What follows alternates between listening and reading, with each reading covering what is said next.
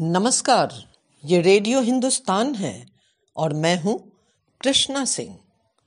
आई हूँ लेकर एक रेडियो कहानी।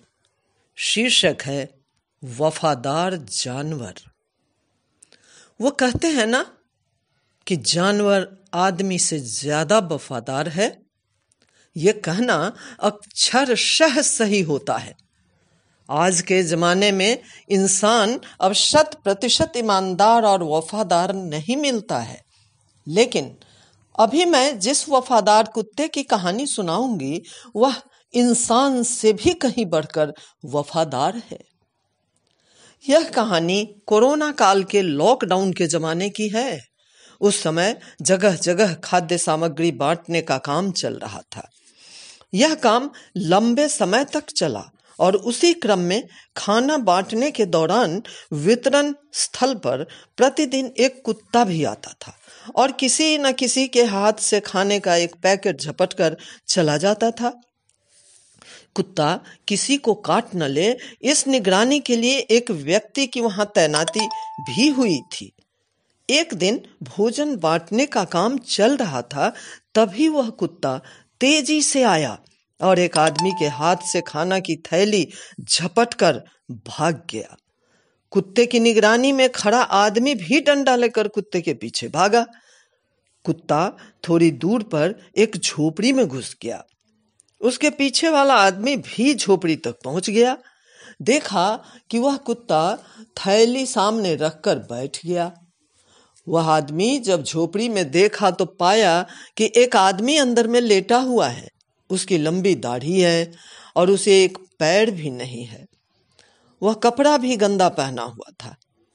ओ भैया, ये कुत्ता तुम्हारा है क्या? उस आदमी ने पूछा। मेरा कोई कुत्ता नहीं, ये कालू, ये तो मेरा बेटा है। इसे कुत्ता मत कहो भाई, वह दिव्यांग बोला। अरे भाई, ये रोज किसी न किसी का खाना छीन कर भाग जाता है। इसे बाँध कर रखो। अगर किसी को काट लिया तो लॉकडाउन में डॉक्टर भी कहा मिलेगा? इतने में कुत्ता बाहर चला गया। दिव्यांग बोला, मैं इसे मना नहीं कर सकूँगा। ये मेरी भाषा भले ही नहीं समझता हो, लेकिन मेरी भूख को समझता है ये। मैंने जब से घर छोड़ा, तभी से मेरे पास है। मैं नहीं बता सकता कि मैंने इसे पाला है या इसने मुझे पाला है। मेरे लिए तो यह बेटे से भी बढ़कर है। मैं तो इसी रेड लाइट पर पेन बेच कर अपना गुजारा करता हूँ, पर आजकल वो सब भी बंद है। वह लड़का मौन हो गया।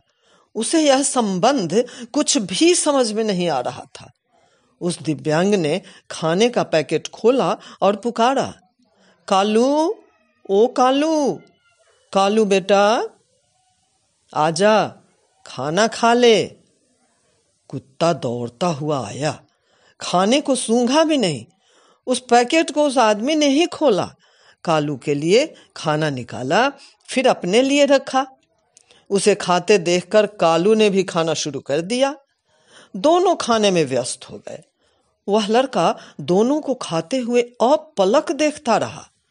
अंत में लड़के ने कहा, भैया जी, आप भले ही गरीब हैं, लेकिन आप जैसा बेटा किसी के पास नहीं होगा। उसने अपनी जेब से कुछ पैसे निकाले और दिव्यांग के हाथ पर रख दिया। दिव्यांग बोला, रहने दो भाई, किसी और को और ज़्यादा ज़रूरत होगी, उसे देना। मुझे मेरे बेटे कालू के रहते भोजन की कोई चिंता नहीं। वह लड़का हैरान था कि आज आदमी आदमी से छीनने को आतुर है और ये कुत्ता बिना अपने मालिक को खिलाए खुद खाना नहीं खाता। उसने कालू के सिर पर हाथ फेरते हुए कहा, कालू, कल से सीधा मेरे पास आकर खाना ले लेना। हाँ किसी से छीनना नहीं।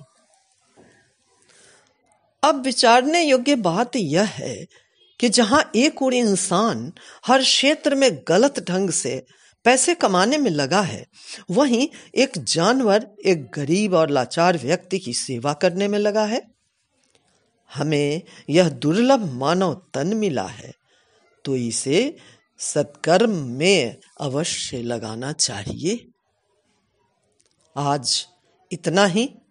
आप करते रहिए अपना काम और सुनते रहिए रेडियो हिंदुस्तान।